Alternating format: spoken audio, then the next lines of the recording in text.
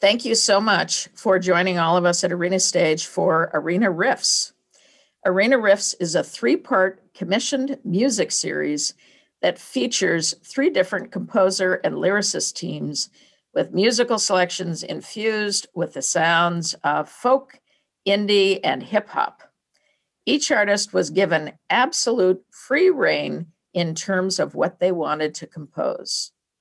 Arena Riffs are self produced, self contained, finished pieces presented by Arena Stage. So we hope we, you, that you please stick around after the show for an informal discussion with these artists. And our final piece is A More Perfect Union from Rona Siddiqui. Arena Riffs is generously sponsored by the Artistic Directors Fund and Sheila Stamp Flea.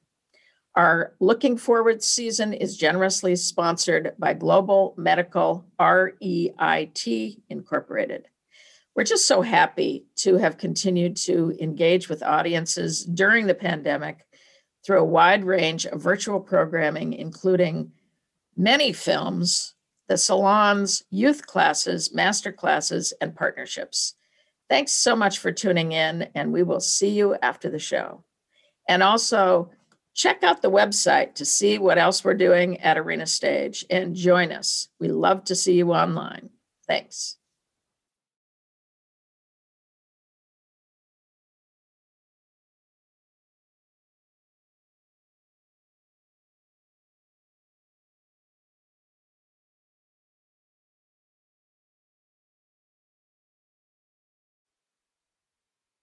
One, two, one, two, three. Ditching school on a Tuesday afternoon behind the library. Blades of grass prick our ears, breathing in the orange blossoms. And when we touch,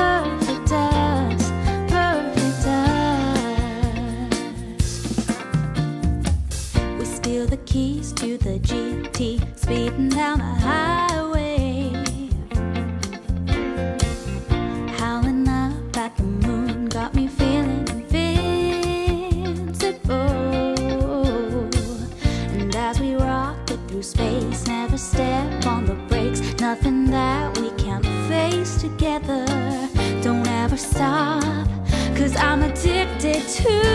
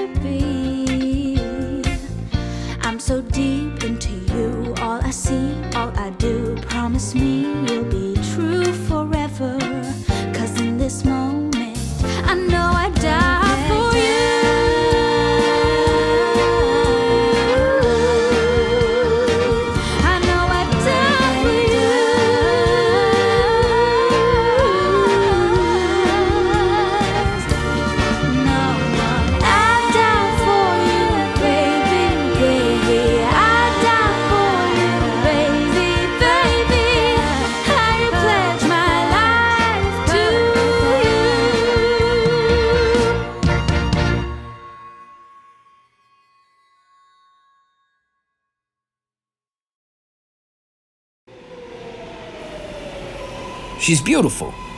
I mean, you've seen them, all right? She knows how to treat a man.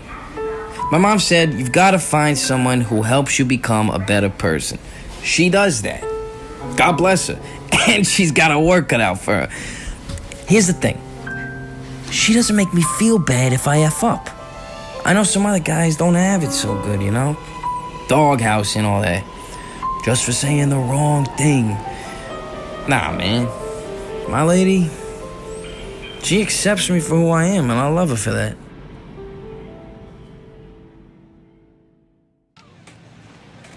She's troubled. Well, and she's also bipolar. So sometimes it's like nonstop fun and laughter and friends and food. She throws the best parties. And other times, it's like she shuts me out completely. She cries and threatens to hurt herself. She threatens to hurt me. And when it gets like that, I know it's even more important I stay with her. She needs stability and love and therapy. We all need therapy. But I won't give up on her. Ever.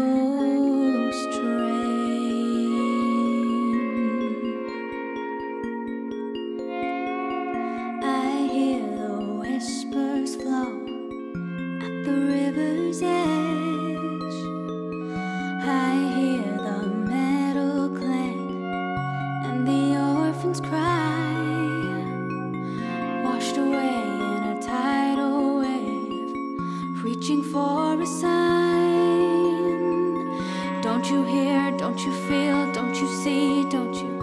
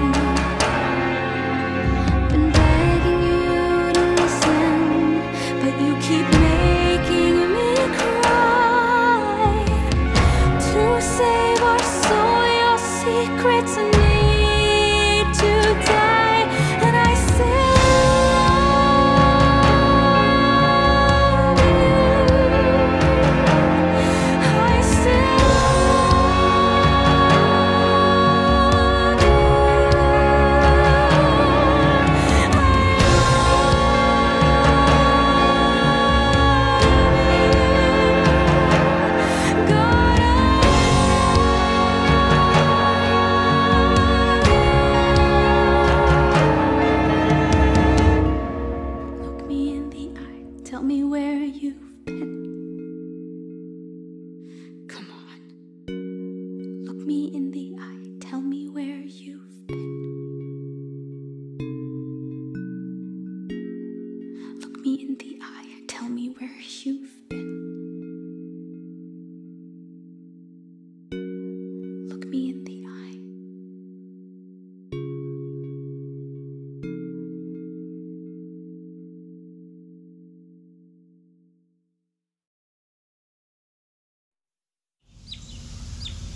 tried to kick me out of the house, the house we built together. And this is on the heels of him basically stalking me, reading my emails and texts, listening to my voicemails, like he suddenly stopped trusting me for literally no reason. My parents keep saying, Leave, come back home, it's safer here. But this is my home. He is my home, and my kids, they would be lost without him. So he doesn't want me anymore and I don't know what to do. And the funny thing is, I still want to be with him. What does that make me? I used to know who I was and where I stood. Now, not so much. I just gotten out of a really bad relationship when I found him. He just scooped me up and nursed me back to health. And then for a while, we were like a power couple. My career was on fire, and he was, you know, that person everyone comes to with their problems because they know he'll understand and actually do something to help. But then he got more and more distant until it was like I was invisible. And now I feel this, like, low level contempt towards me. I'm trying to understand it. I know it's not my fault, but I keep trying to remind him of the way it was. The way it could be again. I want him to see me again.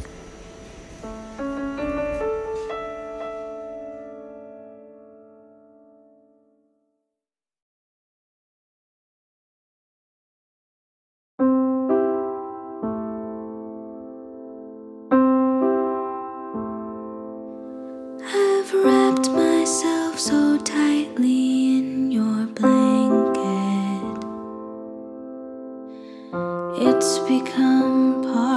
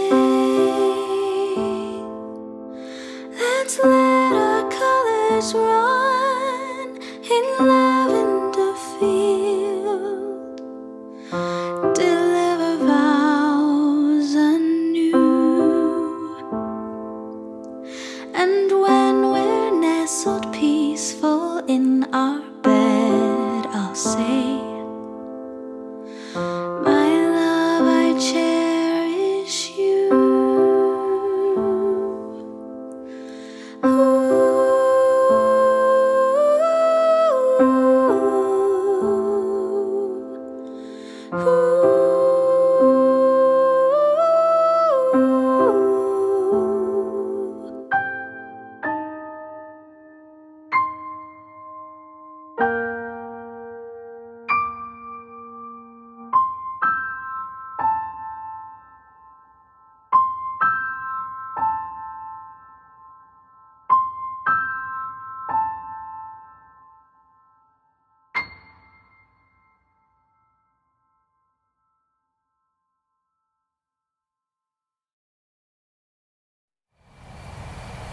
Why do I stay when I feel like their love is conditional?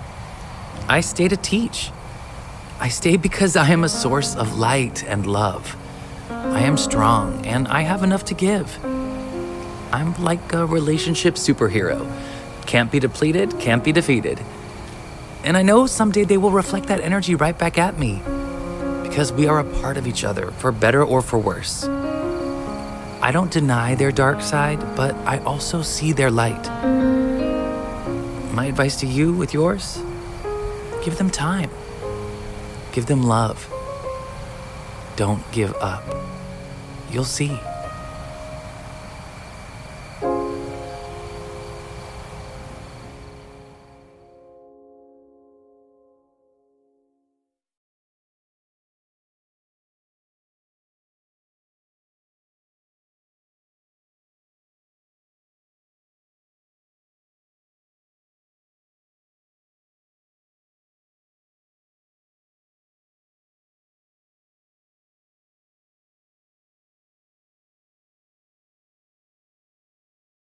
Thank you for joining us for our third and final Arena Riff, a more perfect union written and dreamt up by Rona Siddiqui.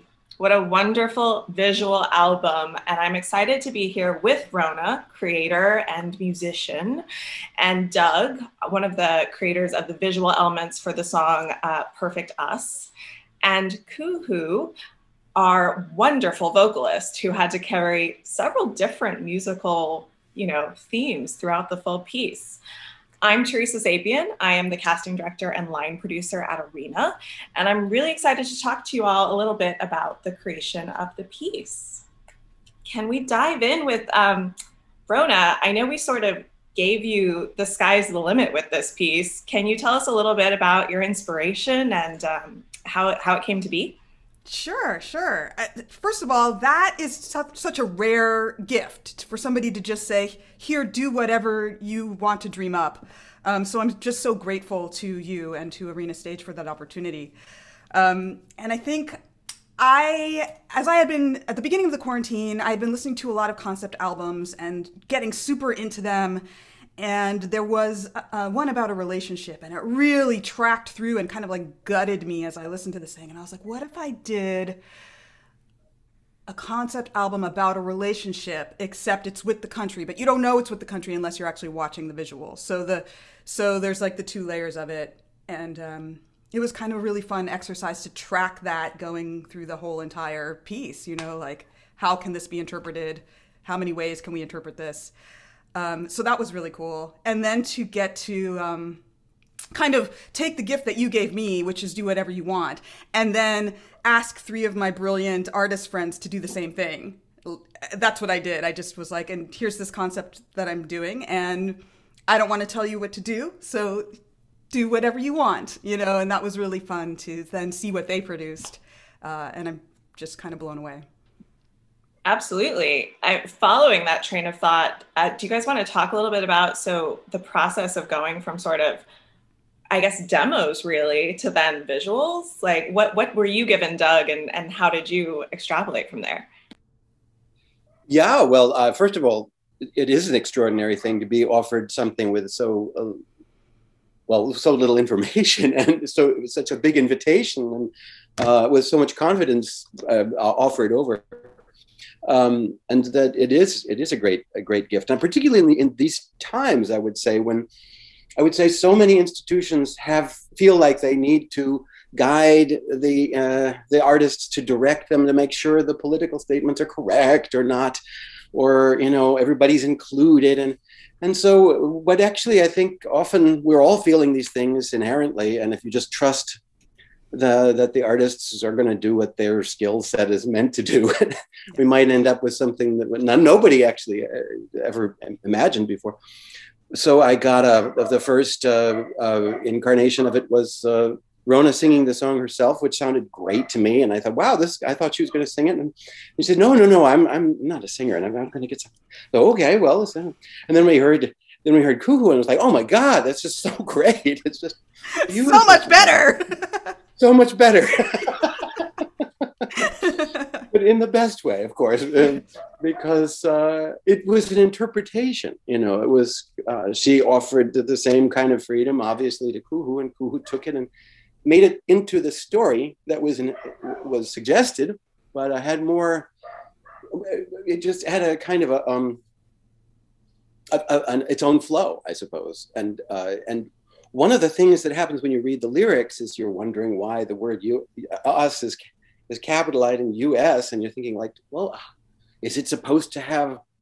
Uh, is it supposed to be sarcastic? Is it supposed to have a um, an edge? Is it is it is it how edgy is it supposed to be? And then and then the answer is, well, it's up to you. I don't think it should be terribly sarcastic. Rona was pretty clear about that and then it was like all right so how much of it is really about the us falling in love with the us and is it more about falling in love with an ideal you know and then allowing that ideal to you know uh, grow or not?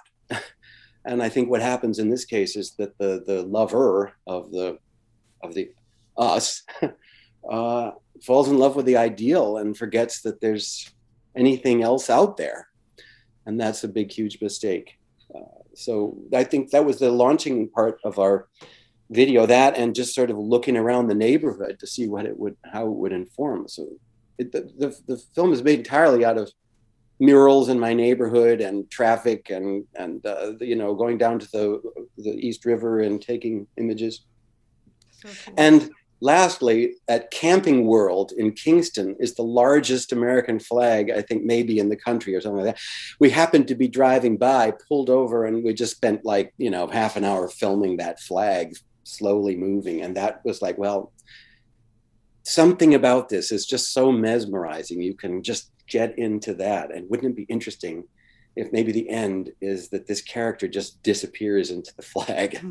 so that was how it started. That's great. Uh, Kuhoo, do you want to speak a little bit about the, I guess, did you record and then also film yourself? And, and what was that process? Uh, so I did all three songs just in my home studio.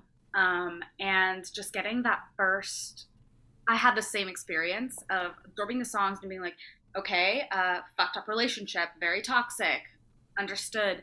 And then slowly putting the pieces together of like, oh god this is like so much more this is so much more personal and so much more um so much more nebulous than that um And I just wanted to say, just to compliment, like what we just saw, the this the the people speaking about their toxic relationships interspersed with the whole thing is so amazing and It really is. Yeah.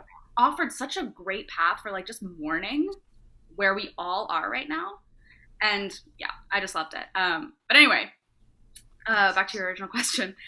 Um yeah so i recorded everything and then when rona was like hey i feel like you should also just like be in this be in the first like lovely section of it um you know i was happy that i didn't have to do the, the like very cathartic like ghost train breakup because that was like so awful to sing and experience right now um but also so incredibly healing to like put that into the ether of like i this fucking it sucks because i care it's Remember when we were rehearsing that, and then I just like broke down. I just broke down after she. Uh, I even think about it now, and I get.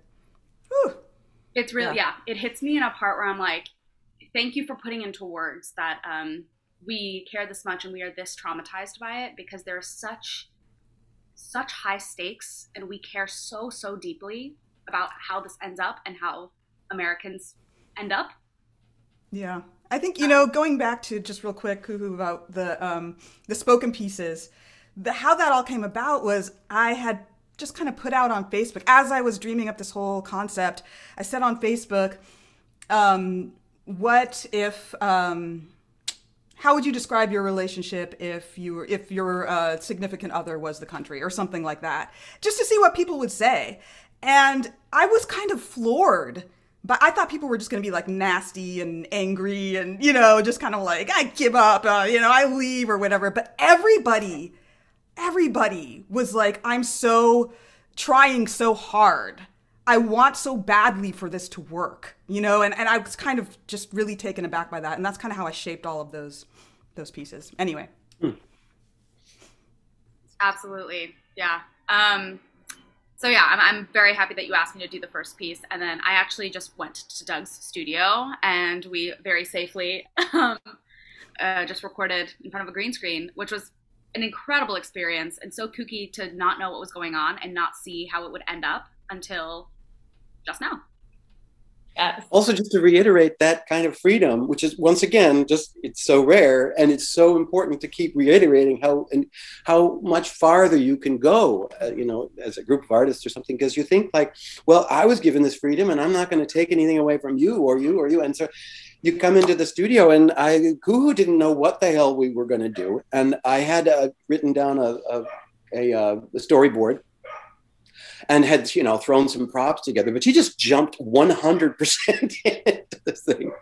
And uh, much of the first take that you did just standing in front of the green screen and we just we put that line down and would tap into that anytime when we didn't really know what we'd captured. So it's really it's pretty great. We did the whole thing in three hours um, and uh, uh, yeah I, I- I guess we started out thinking we wouldn't have anybody but like imaginary friends or something like that in the original but then it was like wouldn't it be cool if we have like one human who's really interacting with this imaginary world and uh, then that's when rona said well what about kuhoo well yeah i think that's a great idea Kind of a So- no brainer. Yeah.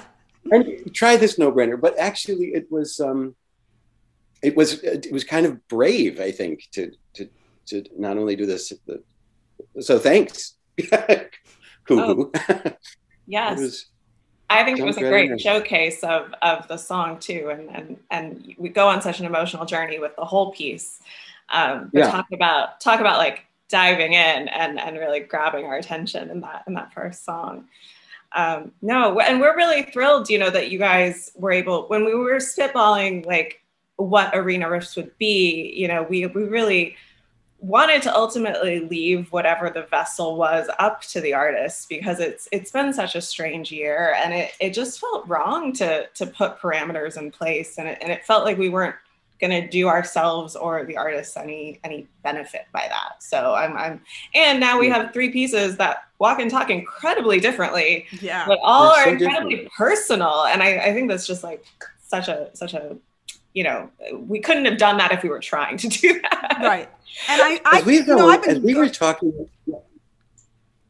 I was just going to say No, that no, I've been use- want, sharing this as a model, like to show other entities, like this is what you can do if you just trust, trust the artists that you want to work with, and let them do what they do. I just think it's, I just, again, I'm just so appreciative of the opportunity. Yeah. I have a friend who Go ahead, Doug. was yeah. I have a friend who oh, who has this very funny thing. I think it's funny. Anyway, he said he stands up in front of organizations and said, "I'm here, you know, in this arts organization, please desperately asking you not to give money to the arts. Please give money to the artists." Yes. it just forces you to make a choice and think about it differently. I think it's just a kind of a remarkable, funny way of thinking that. Absolutely. Anyway, Kuhoo, did you have something to throw in or? Yeah, I just wanted to honestly take a moment to compliment Emily Goldman and Raja Feather Kelly, who are oh my God, not Beautiful, here. beautiful. Yeah, I was so floored. Um, I don't know Emily Goldman, um, but oh my god, just like the the meditative quality of like opening up almost like a children's book and just spiraling into Mm. while you're and the nostalgia of that is so beautiful. And I'm just obsessed with Raja Feather Kelly's like this like very quick, like don't even have time to think in between white media and white America and capitalism and just like images that just immediately have this like neuro response is so incredible. I've watched it so many times, and I still am like catching different things, and it hits me at different moments. It's it's so cool. It's so cool. And I think it's so interesting how like the imagery actually does end up carrying through. I know you very intentionally the let, let these artists Yeah. do their thing. um, Yeah. But the, the carry through is, is really interesting. And yes, you pick up something different every time you watch it, I think, um, which is the best kind of art, right? Yeah, yeah. And I also like I didn't know who- I knew I wanted to work with these three artists. I didn't know which song that each of them would get. I was just like as I was writing, I'm to let I'm to let it tell me who should visualize, you know, do the visuals on this piece. And so that was really fun too. Just again to just sit back and trust myself and, you know, and the whole process and just allow it to be whatever it was going to be.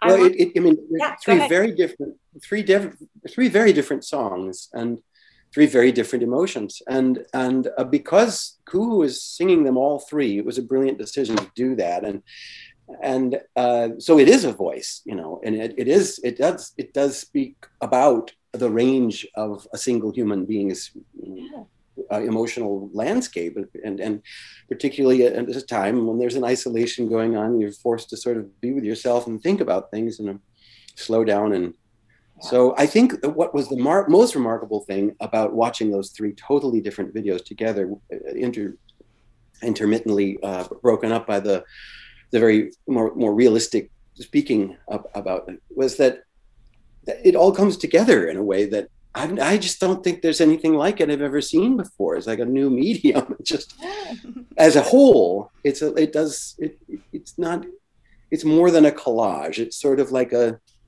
it, it, it's a very different kind of feeling that way.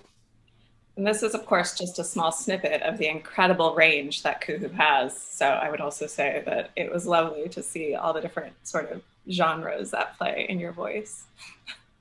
Yes. Uh, I want to just wrap it up by saying, you know, this has been uh, like I think a, a strange year to engage with with our with fellow artists, and I wonder, are there any things that you've learned about yourself in terms of your your work with people across mediums or across um, sometimes great distances that you want to at all speak about? I think it's really interesting the way. Um, the way we communicate, I think, has distilled a little bit, and I just wondered if you guys wanted to talk about that a little bit in the context of this piece. Uh, honestly, I I find it really interesting. Like I think at the very beginning, people were very, and people are still saying the the thing that we've all heard, which is like enough Zoom theater. I don't want Zoom theater. Or like, yeah, well, this is just it's technology, and like, oh, well, this is just the digital platform, so we just have to adjust our expectations, or we just have to adjust whatever. And I think that that's really interesting because honestly, I think it's given us a little bit of freedom as artists to allow people to kind of expand their horizons on things that they haven't worked in mediums that they haven't really touched on before. And for the first time, what that statement means to me is I'm seeing people be like, oh, I haven't seen this person ever do something like this before. and I'm going to accept it and I'm going to consume it and I'm going to not uh, expect that it's going to be perfect and that's okay. And that to me, I don't see that very often in the theater. And it's amazing to see that kind of, um, they're wording it in a negative way, but honestly, it's a very, very positive intention of whatever it is, I will consume it, I will support it, and I will accept that the borders are different, but that doesn't mean that it shouldn't be consumed. Yeah, totally. I think um, you know artists are creative people. They're going to pivot and pivot and pivot and and find new ways to to share whatever they want to share in that moment. And I've always wanted to do something like this, so it was kind of the perfect moment for me. And even before this, I was doing, you know, I did an animated feature from my show Salaam Medina Tales of a Halfgan recently, and um, I've done a lot of actually animated shorts um, coming coming out of the political movement, and um, that's been super fun for me. I think my, my Sesame Street brain is like, yay! you know, like, we've always wanted to do this.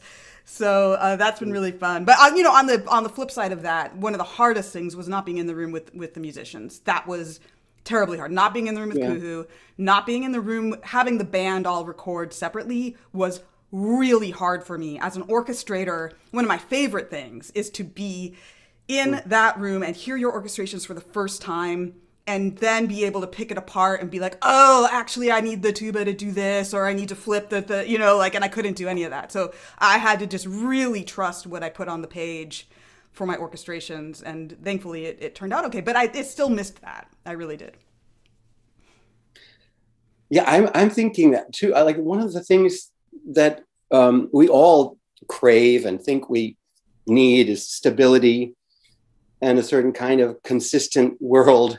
And then we were all thrown into this realm of total uncertainty, right? And uh, and uh, I think one of the things that we can offer professionally is their skill set of as artists is that we uh, remind everyone that there's nothing particularly secure in anything at any moment, and and this this in unstable world that we live in. So welcome to our world. This is what it's like every day, and it's sort of, and we it's sort of a welcome. Uh, it, it, it felt it felt a little bit uh, nice to be in in in a in this um, environment where things are changing and it's actually okay. It's sort of acceptable to be to uh, to be there with everyone else. Um, so I I think what both of you are talking about, uh, not being in the room with the same people, uh, it, uh, it, it certainly changes your perspective, and you're creating a product you never thought was going to be interesting or even out uh, maybe useful. But in fact, in the end, uh, sort of a slowing down, rebooting, and uh, getting a, a chance to do less and get get it to mean more. That's what it felt like with this this project. I think. Yeah, absolutely. I do feel like if anyone creates software that helps the music side of like that has been the consistent like it's hard to do music remotely. Um, It is. but we, you guys, we would never know it, it with the piece that you have created. I want to thank you all for your artistry and for also spending additional time talking to me on Zoom. Uh, we certainly appreciate the peek behind the curtain. And I know, um, especially with these pieces, there's so much to talk about because you guys have created such a multi layered quilt of a piece. So thank you. And, um, you know, I really hope everyone enjoys a more perfect union. Thank you, Teresa. Thank you, Teresa. Thank you, Rona. Great to see everybody. I'm so deep into you. All I see, all I do. Promise me you'll be true forever. Cause in this moment, I know I die.